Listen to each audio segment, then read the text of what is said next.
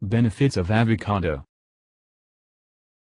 They are stone fruit with a creamy texture. It grows in warm climate. It is also known as alligator fruit or butter fruit. It is not only a fruit, but also a berry. Some of its benefits are It contains lutein and zeaxanthin which help in improving eyesight. It has a stimulating effect which helps in normal functioning of the reproductive system. It contains high amount of magnesium and potassium which helps in maintaining blood pressure.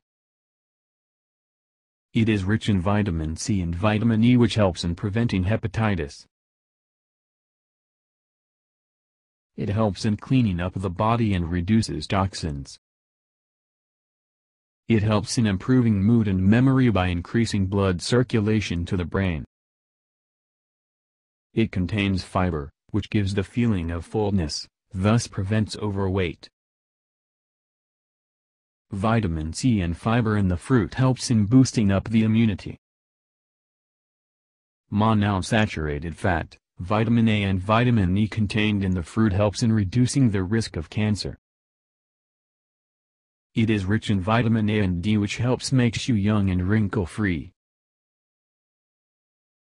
It contains folate and vitamin A which helps in reducing bad cholesterol and increases the good cholesterol.